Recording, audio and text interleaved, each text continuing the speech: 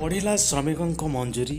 ହଁ ଦର୍ଶକ ବନ୍ଧୁ ଶ୍ରମିକଙ୍କ ପାଇଁ ଖୁସି ଖବର ବଢ଼ିଲା ଶ୍ରମିକଙ୍କ ମଞ୍ଜୁରୀ ଶ୍ରମିକଙ୍କ ସର୍ବନିମ୍ନ ମଞ୍ଜୁରୀ ବୃଦ୍ଧି କଲେ ରାଜ୍ୟ ସରକାର। ଚାରିଟି ବର୍ଗରେ ଶ୍ରମିକଙ୍କ ସର୍ବନିମ୍ନ ମଞ୍ଜୁରୀ ବଢ଼ାଇଲେ ସରକାର। ଅନୁକୂଳଶାଳୀ ଶ୍ରମିକଙ୍କ ମଞ୍ଜୁରୀ ତିନିଶହ ବାବନରୁ ଚାରିଶହ ପଚାଶ ଟଙ୍କାକୁ ବୃଦ୍ଧି କରିଛନ୍ତି। ଅର୍ଦ୍ଧ କୌଶଳୀଙ୍କ ତିନିଶହ ବାବନରୁ ପାଞ୍ଚଶହକୁ କୌଶଳ ଚାରିଶହ ବୟାଳିଶରୁ ପାଞ୍ଚଶହ ପଚାଶକୁ ବୃଦ୍ଧି କରିଛନ୍ତି ରାଜ୍ୟ ସରକାର। ଅତ୍ୟନ୍ତ କୌଶଳୀ ଶ୍ରମିକଙ୍କ ମଞ୍ଜୁରୀ ପାଞ୍ଚଶହ ଦୁଇରୁ ଛଅଶହ ଟଙ୍କାକୁ ବୃଦ୍ଧି କରିଛନ୍ତି। ଆଜି ସକାଳେ ରାଜ୍ୟ ସରକାରଙ୍କ କର୍ମଚାରୀଙ୍କ ଏକ ଚାର ପ୍ରତିଶତ ବଢ଼ାଇଲେ ବର୍ଦ୍ଧିତ ଡିଏ ଜାନୁଆରୀ ପହିଲାରୁ ପଞ୍ଚିବ ଭାବେ ଲାଗୁ ହେବ ବୋଲି ଜଣାପଡ଼ିଛି। ଚାରିରୁ ପାଞ୍ଚ ଲକ୍ଷ କର୍ମଚାରୀଙ୍କ ଓ ତିନି ପଏଣ୍ଟ ଫାଇଭ ଲକ୍ଷ ପେନ୍ସନଧାରୀଙ୍କ ପ୍ରକୃତି ହେବ ରାଜ୍ୟ ସରକାରଙ୍କର ଡିଏ।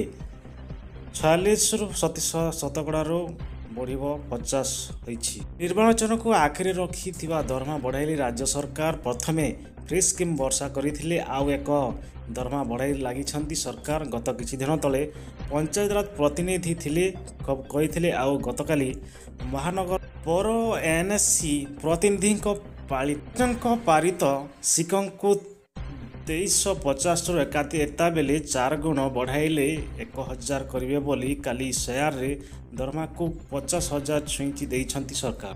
ସେପଟେ ଗତକାଲି ପଦ୍ମ ସମ୍ମାନରେ ସମ୍ମାନିତ ବ୍ୟକ୍ତି ବିଶେଷଙ୍କ ସାମ୍ନାକୁ ରାଶି ମିଳିବ ବୋଲି ଘୋଷଣା କରିଥିଲେ ରାଜ୍ୟ ସରକାର।